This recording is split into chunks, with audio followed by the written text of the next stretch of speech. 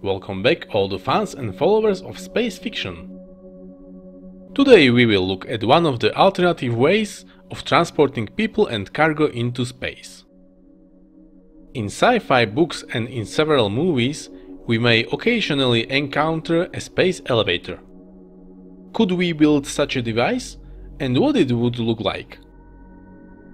I will not analyze what material should be used, rather I want to focus on which solution would be realistic and the most suitable.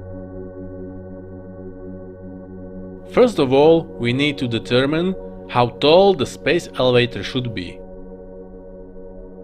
Currently the primary goal of spaceflight is low Earth orbit, as it is the most accessible and relatively safe. However, this orbit is not suitable at all for a space elevator and its construction up to this height would be very difficult to build. We would have to build a tower at least 200 kilometers high. Its entire weight would push against the foundations of the building, making it very unstable, dangling and easy to collapse and such a big pressure would be present not only in the foundations of the building.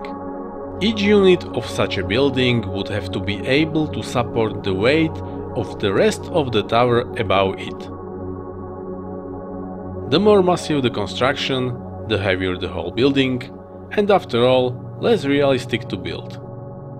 By the way, getting to the top of the tower at a height of 200 kilometers makes almost no sense. There is already a vacuum at this height, but the gravity there would be almost the same as on the Earth's surface. To launch a satellite from this height would mean bringing the entire rocket to the tower, which would give the satellite an orbital speed. All objects in the low Earth orbit would fly around our tower at tremendous speed of almost 8 km per second, which is a speed several times higher than the speed of the bullet from the gun. But anyway, any major cargo would destabilize the entire structure, so there couldn't be even small station at the top. So what would be a significance of such a construction? Lookout? Working outside the Earth's protective atmosphere? But nothing more, it won't help space travel in any way.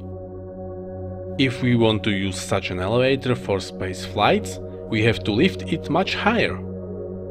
Up to the geostationary orbit, which is approximately 36,000 kilometers above the Earth's surface. A tower built to this height would gain orbital speed at its apex due to the rotation of the Earth. But how to build an even higher elevator when at an altitude of 200 kilometers it was already extremely difficult construction. This problem could be solved by not building the elevator like a tower from the bottom to the top, but lowering it from the top to the bottom like a rope. This design would therefore not have to solve the problem of high pressure caused by the weight, only the problem of high tension in the materials. The goal of this construction will be to ensure that the rope does not break, but the rope itself may look very different.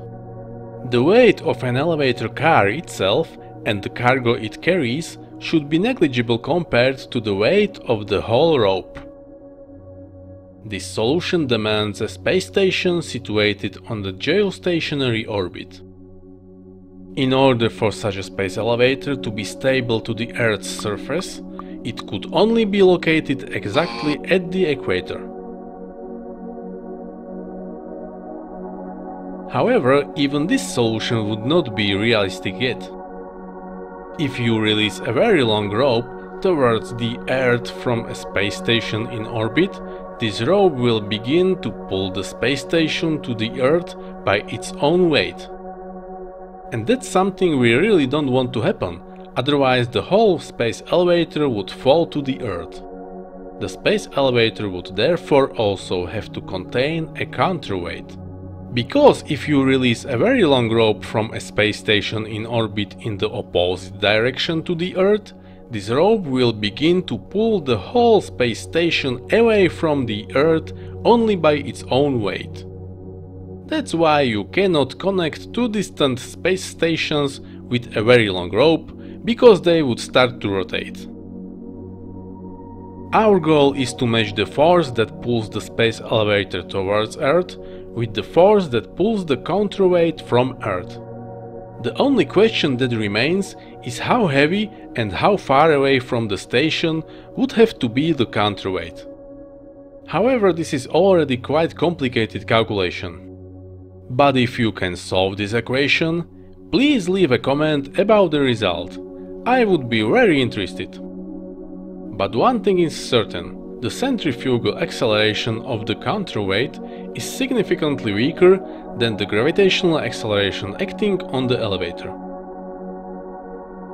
Therefore, the counterweight would probably have to be much heavier than the entire space elevator. However, the space elevator has one more really big problem. A collision with another body cannot be avoided.